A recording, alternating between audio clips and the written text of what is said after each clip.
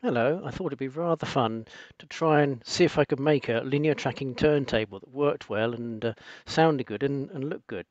And uh, here it is. This is my entirely homemade turntable. Let's have a listen.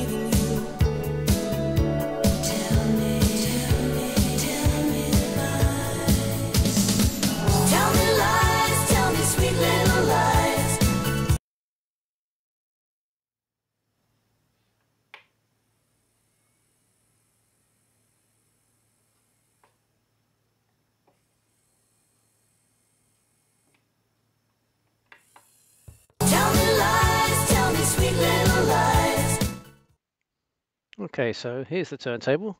It uh, uses LED display at the front and quite a funky uh, alphanumeric display.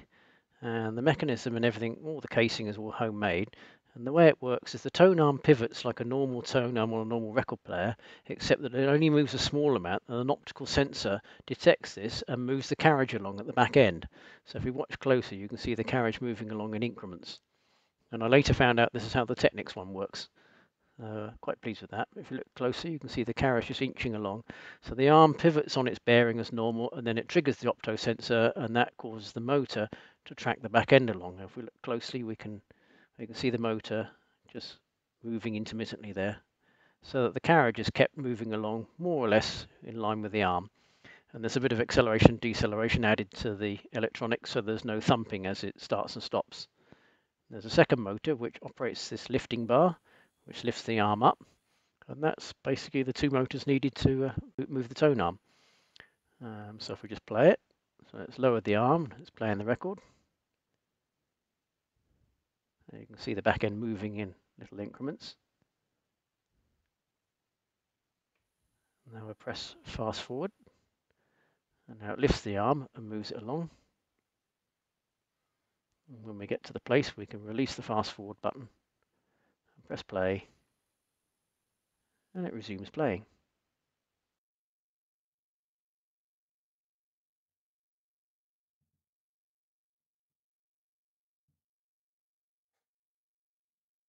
So the base of the turntable is, um, is a plywood base um, with aluminium rear chassis and hinges and a circuit board at the front which contains a PIC microcontroller which I've programmed in C and uh, did all the PCB layout and everything machined all the buttons.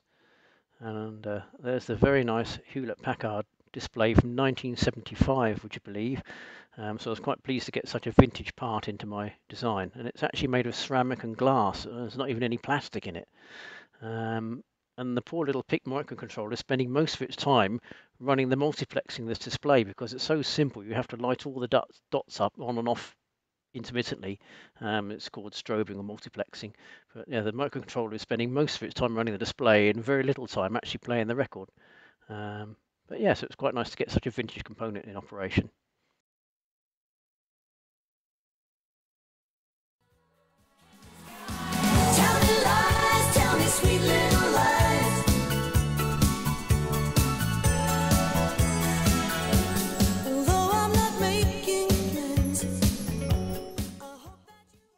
There it is. I hope you uh, enjoyed having a quick look at that. And uh, I shall carry on enjoying listening to the music. Thank you very much.